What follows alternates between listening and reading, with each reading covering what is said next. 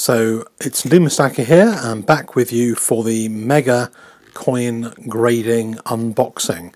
And uh, we've got a, another little box that uh, was inside the big box. And uh, this one was a bit of a surprise, to be honest, because I wasn't expecting this at all. And uh, it turns out that NGC have sent me a little present to say thank you for my custom. Um, so maybe this is to go to all their customers to celebrate their anniversary. I don't know. Maybe it was special for me, but I really appreciate it. So thank you very much, NGC, for sending me this year's uh, Red Book.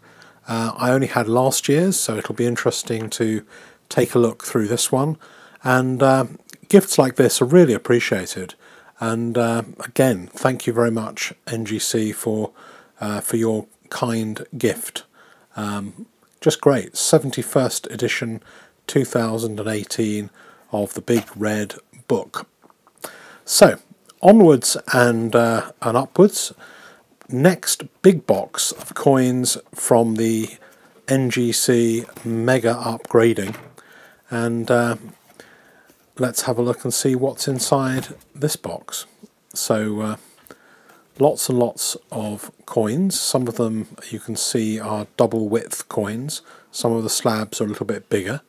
They do actually have a, uh, a grey box now that fits the larger slabs that you can get as well. So uh, there's a whole variety of things I'm pretty sure in this box. Starting off with uh, the Royal Baby 2015, the Mint Sixpence. This is the 2016 Royal Mint Sixpence in the style of an old sixpence, but actually it's a new sixpence. Uh, and they sell those on the Royal Mint website, uh, and they're kind of quite useful presents for uh, for baby, childbirth, and all this kind of stuff. Anyway, on to the Monkey King. Uh, one of my favourites. I love the design of the Monkey King on the front of this coin, and this one got an MS70, which uh, did very much please its owner. Okay, so the next few coins are going to be Chinese uh, coins. They're from a, a collector who uh, is on the Silver Forum, and he must have the largest collection of modern Chinese coins known to man. And he, he comes up with some of the most interesting coins that I've never seen um, for uh, for grading. And this is a set that uh, I, I, I, noticed uh, go out to NGC, and I really liked them. I was very interested to see what would happen to them in grading. And I absolutely, this is probably, of all the Chinese coins that have come through here from this guy, uh, this is my favourite set. I, I don't normally like colourised coins, but I think it works so well with all the traditional costumes. So uh, full marks for this one. I, I love it. I really do. I think it's great. Okay.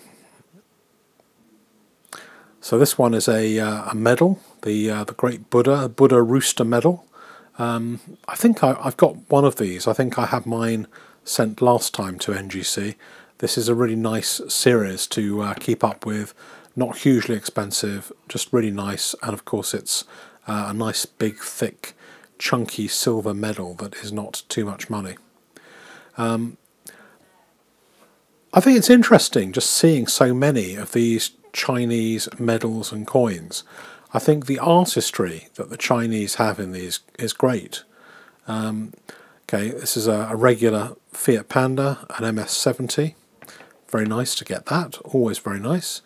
This is another one of my favourites. This is the the snake medal I mean, look at that. I mean, that's just such a nice thing.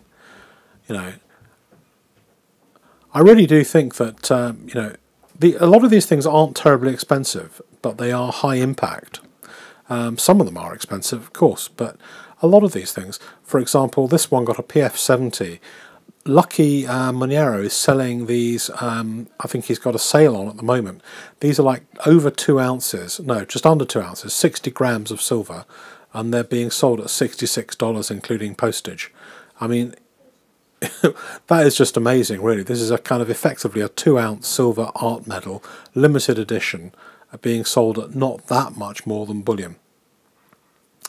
So uh, some of these others, you know, it's a great series of, uh, of, of things to collect from China. Um, you don't seem to see a lot of this stuff around. You have to go and hunt for it. It's kind of hidden away, and you have to search and have the right contacts. Um, but it does make a great collection, and I think that in the future, modern Chinese coins are going to be one of those areas that show a pretty good uh, growth for the future. I mean, you should tell me in the comments what you guys think of uh, these modern Chinese coins. You know, there's a lot of coins here, not just the medals that I collect. I tend to collect more medals than coins, but uh, this particular guy collects pretty much everything that comes out, coins and medals. And some of this stuff is just so beautifully made, so well crafted, um, and pretty limited mintages as well. This one is the £20 for 20 Welsh Dragon coin. Um, it's one of the 20 for 20s, but it's only available, I think, from the Royal Mint shop in Llantrisant.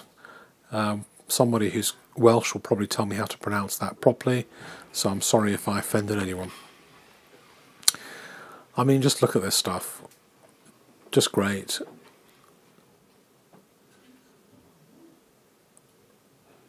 This is a nice big chunky Piedfort Auspicious Matters.